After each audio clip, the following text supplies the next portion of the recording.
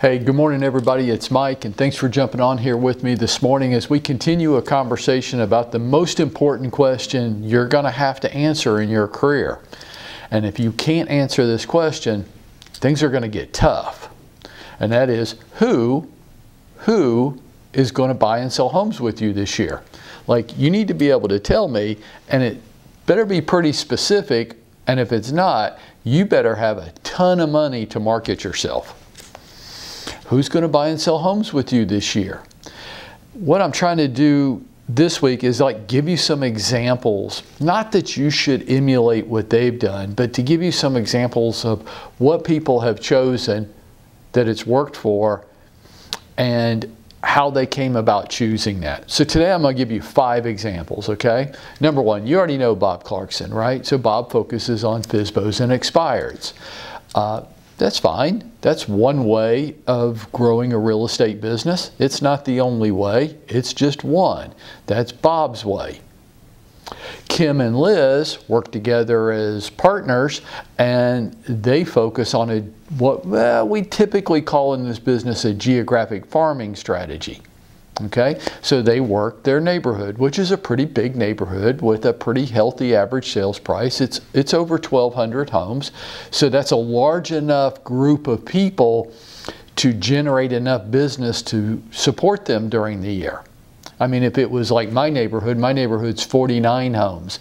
Uh, we might have one sale a year, maybe. Kim and Liz, they're going to have 20 to 25 sales a year in a normal year. So there's enough there at a high average sales price to support their business. But see, I don't think it's really geographic farming. I know that's what we like to call it in this business, but I don't think it's that.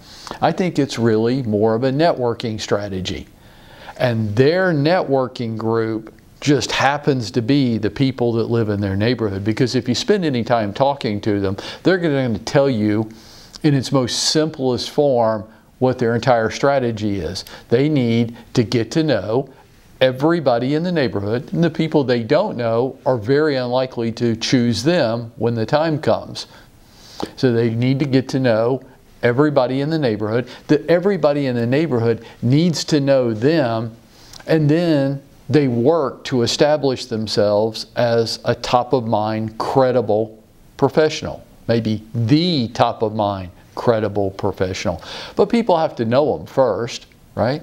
That's just a networking strategy, but their network is the community in which they live in. Okay? Claire Williams. Claire focuses on open houses, which I think is an awesome target audience for Claire. It really fits her personality type. She's really good at it. It's just a it's just a natural thing for her. I don't even know that she thinks she's implementing a strategy, so to speak. I think Claire's just being Claire. And it works really well for her.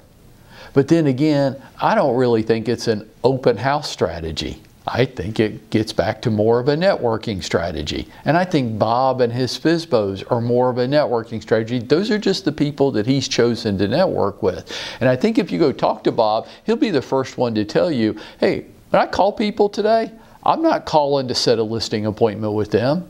That's way down the road. It's way down the road. It's not now. Every once in a while it'll be right away, and that just means I got lucky.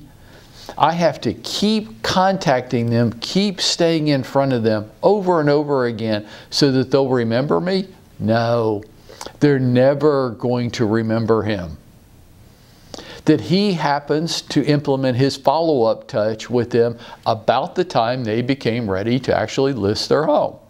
And because they think all real estate agents are the same, pretty much the next competent agent who doesn't fumble over themselves that contacts us is probably who we're going to agree to meet with.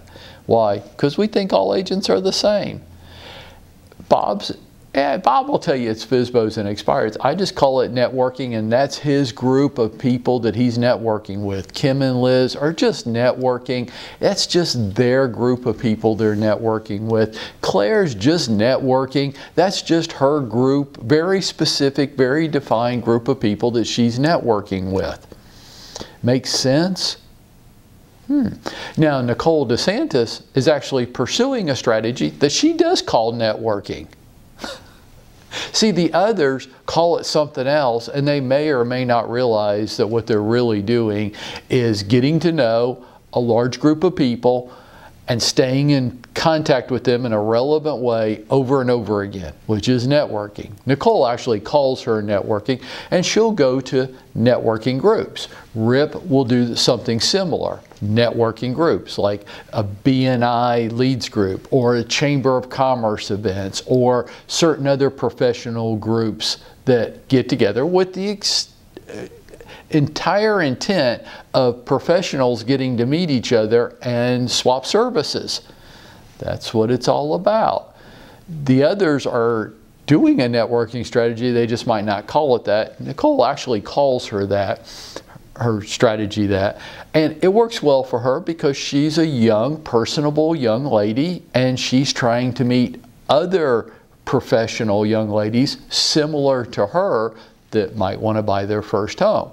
Now, what you might say, what Nicole's doing is a first time homebuyer strategy. Yeah, I mean, kind of, but what she's really doing is a networking strategy, and within the large group of people that she's exposing herself to over and over and over again, uh, there are first time homebuyers in there and she relates well with those people. She will resonate with those people. It's very likely that they will choose her when the time comes because they know her and they feel comfortable with her. Does it make sense? Okay. Now, tomorrow I want you to tune in because I'm going to tell you about what I think a revelation that Steve Danino and I had. Yep, Stevie D. And yesterday in a coaching session, I think we might have uncovered something that I think Steve was excited about. I know I'm excited about because when the natural fit appears, when the when truth is spoken to us, we just know it somehow. It's like, damn, that's right. That's what it is. And I know we're all looking for that. If you'll join me on Wednesday's call, I'll tell you about Stevie D's and his. For right now, get your little fanny out there and make it happen for yourself today.